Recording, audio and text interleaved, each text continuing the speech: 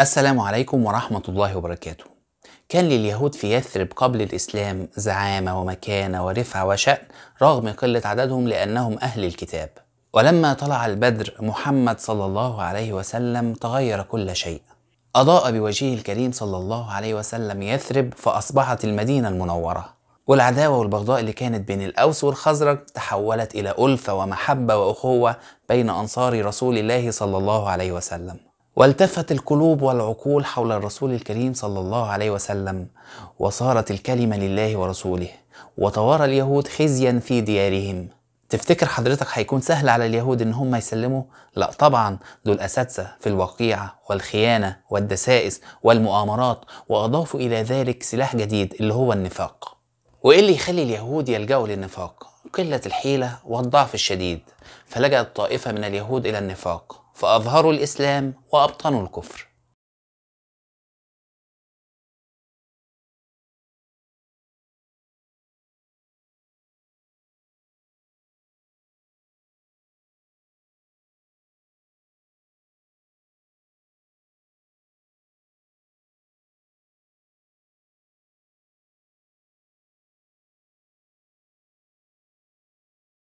إذا لقى الذين نافقوا من اليهود الذين آمنوا قالوا بلسانهم آمنا بدينكم ورسولكم المبشر به في التوراة.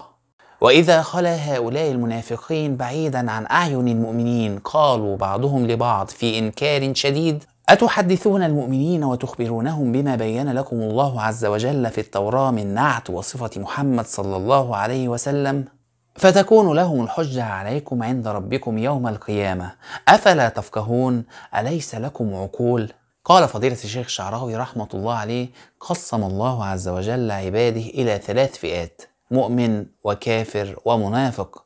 فالمؤمن يظهر الإيمان ويبطن الإيمان فانسجم مع نفسه ومع الكون. أما الكافر فأظهر الكفر وأبطن الكفر فانسجم مع نفسه ولم ينسجم مع الكون والكون يلعنه.